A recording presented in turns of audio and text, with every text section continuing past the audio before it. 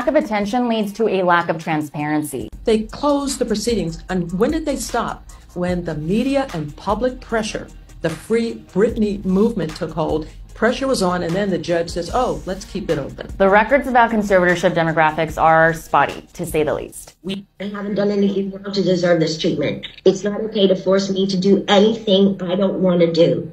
By law, by law, Jodi and this so-called team should honestly, I should be able to sue them Yeah, for she should. threatening me and saying, if I don't go and do these meetings twice a week, we can, we can't let you have your money and go to Maui on your vacations.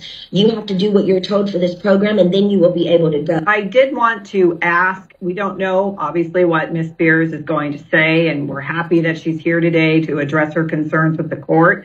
But if what she's going to say may impact her medical privacy, my client does hold those medical privacy rights, and I would ask that we please seal the transcript and clear the courtroom so we can preserve those medical rights. I think it's really important.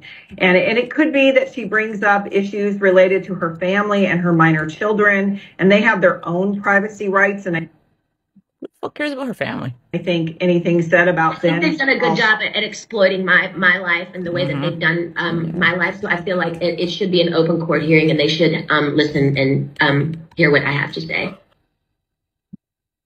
Some bullshit. Oh my god. So that's my friend on TikTok and Instagram. Um, I think she's popping on both accounts, but I know she's newer to TikTok. So if you are interested, this is Let's Free Britney. Because let's free Britney for real. Like, seriously, guys. Seriously, fucking for real. So we have some hashtags that I think would be useful if you're gonna post about things. Um, they're gonna be on all my new videos going up. Um, let me look at what they were again.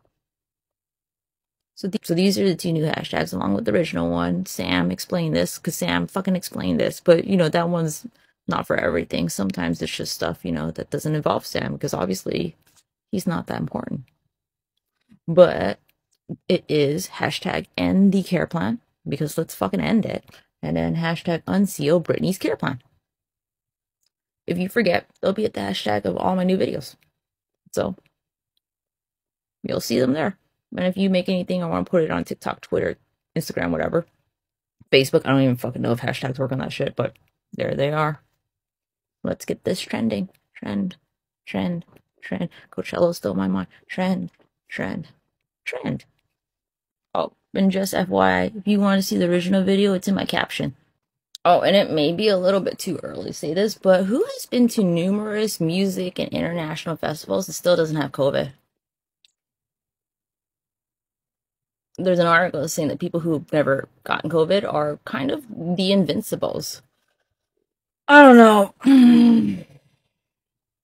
Feeling kind of invincible right now, y'all.